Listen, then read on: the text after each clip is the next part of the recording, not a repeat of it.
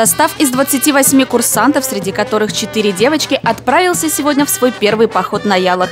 Перед стартом с напутственными словами к ним обратились их старшие наставники.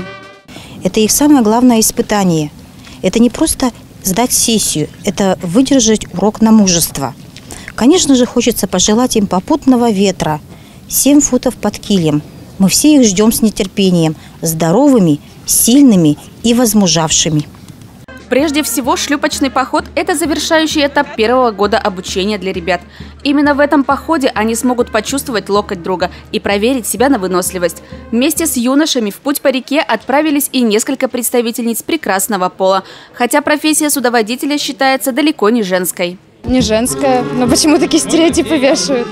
Я не знаю, мне кажется, если есть сила духа, сила воли, то все можно, если очень сильно захотеть. И не страшно ли вот пойти Ну, страшно, но, не знаю, интересно. Это как-то так, не знаю, волнительно, что ли. Так почетно, что именно нас, девочек, взяли. Как рассказывает Марина Клочкова, ребята девчонкам всегда и во всем помогают, поддерживают их, поэтому идти с ними в поход не страшно.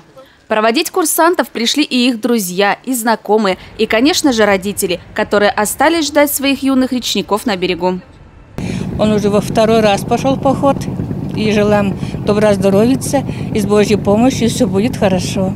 Волнительно ли вот это все? Конечно, конечно. Надеемся на его силу, умение, терпение, навык и счастливого пути.